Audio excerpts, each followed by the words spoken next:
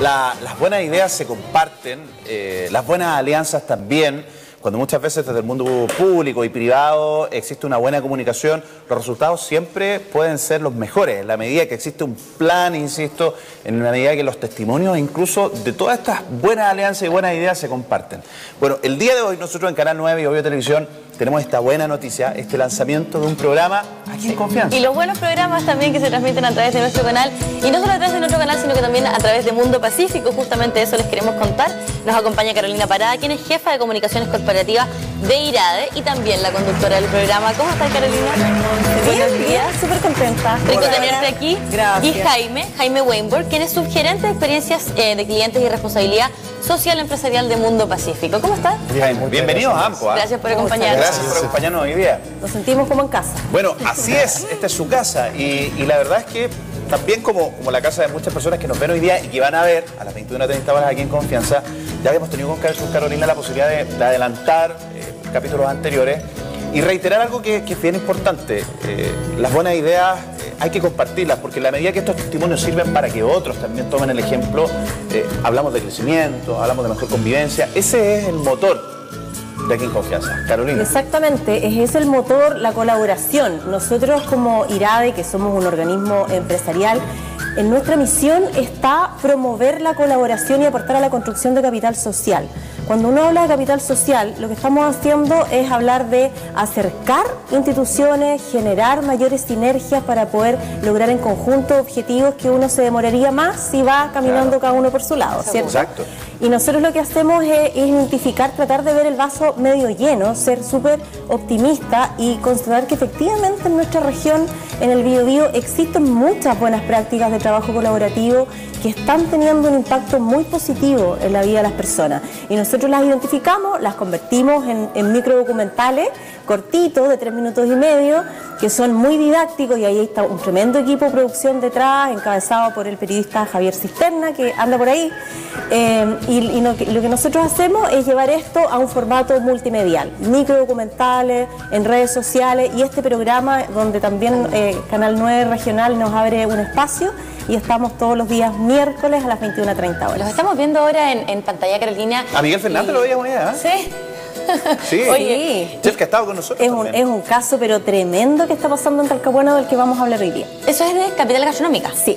Ah, perfecto. Lo que pasa es que el, el programa, para quienes quizás no vieron la primera temporada, ustedes también en esta alianza con la Corfo eh, hacen, digamos, estos, estos micro reportajes y queremos contarle a la gente, digamos, ustedes vieron creo que nueve o diez casos en la primera temporada. Sí. Eh, contar más o menos de lo que se tratan, a dónde apunta también. Te cuento, en total nosotros tomamos 15 historias de, de estas buenas prácticas de colaboración y tuvimos un primer ciclo que fueron 9 y ahora vamos a continuar con, lo- con los restantes. En el camino además estamos muy contentos porque se nos sumó Mundo Pacífico, y por eso está acá Jaime. Una buena alianza. Es una ya que buena hablamos, alianza, digamos, enseñando con el ejemplo. de la- de las Exactamente, nosotros prácticas. tenemos un espíritu muy colaborativo también como, como parte de, de nuestro proyecto. Entonces, Mundo Pacífico lo que, lo que ha hecho a través de este convenio es comprometerse a difundir todas estas historias en canales donde nosotros no llegamos. Entonces, así vamos ampliando más el territorio. Entiendo que hablamos de, de 50.000 hogares. Ahí Jaime el que nos puede detallar más. Bueno, les cuento yo. A ver, primero teníamos que estar dentro de aquí en confianza, o sea, creemos que es un proyecto. Nosotros, Creyeron en ello. Nosotros como integrantes de IRAE, eh, ver este proyecto y personalmente me pareció sumamente atractivo. Y, y claro, nosotros también tenemos como misión el tema de la inclusión digital. Nosotros llegamos a lugares donde tradicionalmente han quedado relegados, ignorados. Claro, eh, donde existía falta de conectividad, Claro, donde entonces- estaban lejos. no- no- nosotros de verdad somos protagonistas de, de estrechar esta brecha digital y cuando nos propusieron y cuando vimos el tema de aquí en confianza eh, teníamos que estar porque tenemos una, una comunidad robusta de canales, ya son 25 canales dentro de nuestras señales y estos canales llegan a lugares eh, en comunidades que están un poco relegadas.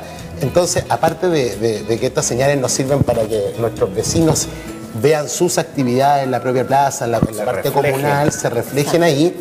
Eh, aquí en Confianza muestra este espíritu colaborativo que hay muchas empresas en la región que trabajan con los vecinos, que se hacen actividades y acciones con ellos y creemos que nosotros tenemos también la plataforma para poder mostrar y llegar a esos vecinos.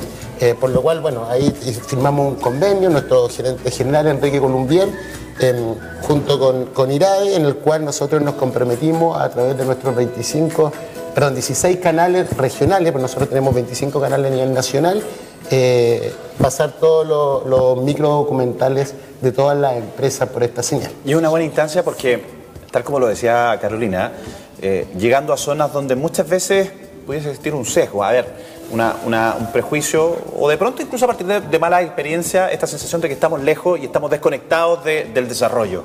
Las grandes capitales, incluyendo Concepción, donde sí tenemos obviamente que hacer mucho todavía contra el centralismo, y, y criticamos el centralismo de Santiago, ah, bueno, en Concepción también lo tenemos, eh, apuntamos a que estas personas conozcan estos testimonios, porque luego de ver un programa donde yo sé que existen alianzas con, con empresas públicas, privadas, también puedo yo, también podría participar, también podría aportar con algo. Y con, y con esa misma lógica nosotros establecimos que muchos de nuestros casos no estén en Concepción. Y tuvimos, por ejemplo, el caso de la, lo que ocurrió con la central hidroeléctrica Angostura en las comunas de Quilaco y Santa Bárbara, que es un tremendo ejemplo de relación eh, con, con la comunidad de una empresa a partir de un proyecto específico. Eh, en, la provincia de Arauco, por ejemplo, tenemos dos casos grandes, que uno es... eh, lo que está ocurriendo con Duoc y esta alianza que tienen con la empresa Arauco de la educación, educación dual, que es un, que le está cambiando la vida a Una muchos jóvenes enorme. que antes no tenían la posibilidad de cursar estudios de educación superior en su propia comuna.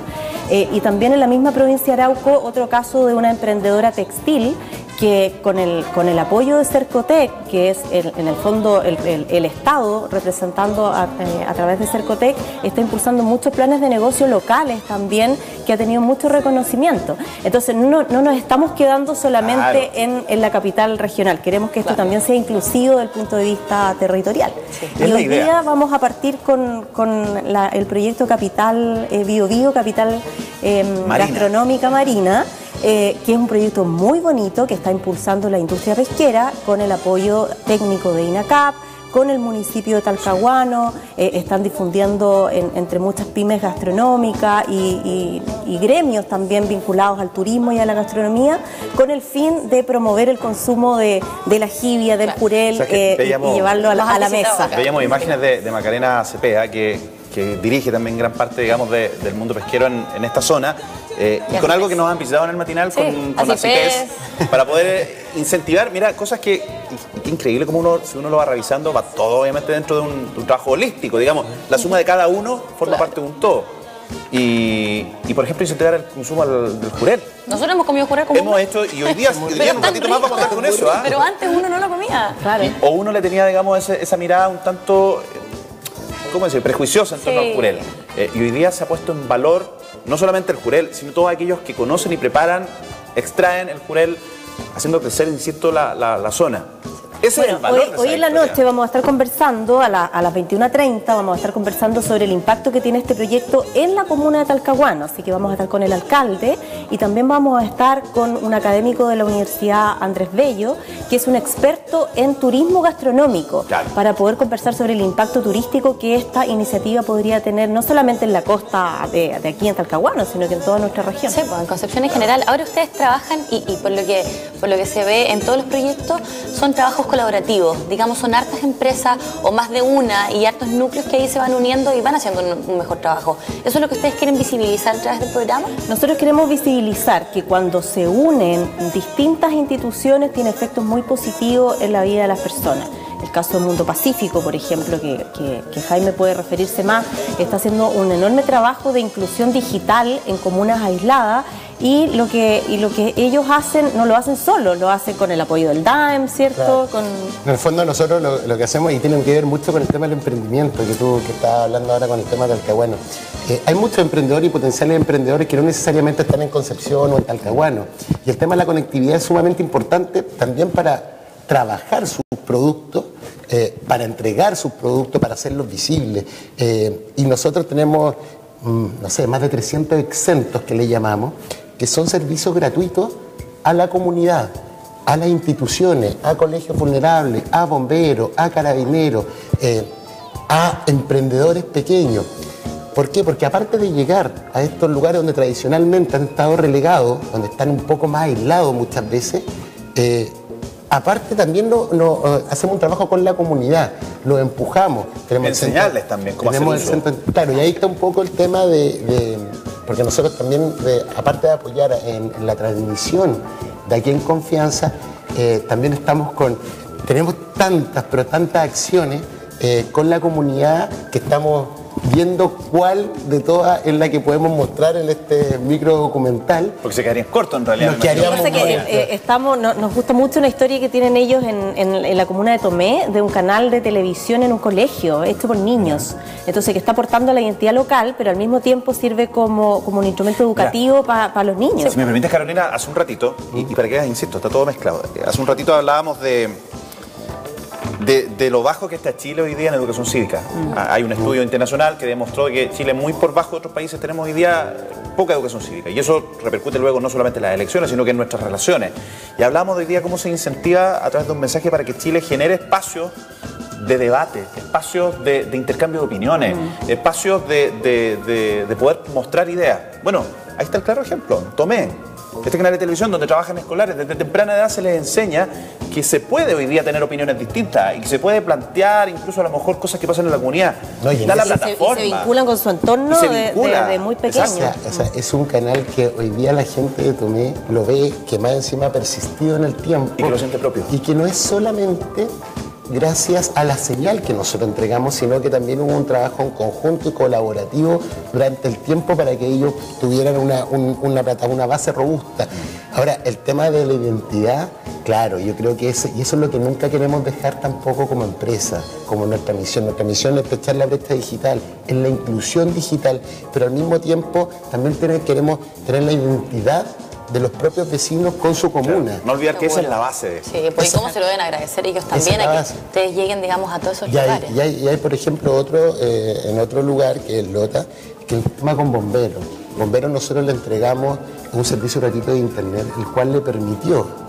Uno dice, pero a través de esta herramienta, sí, a través de esta herramienta le permitió em, postular a fondos, en los cuales se ganaron fondos desde Japón, en el cual tuvieron que llegaron con un carro de bomba a través de internet. O sea, ellos solamente por el servicio de internet, por esta conectividad, canal permitió. pudieron capacitar a su, a su cuerpo bombero.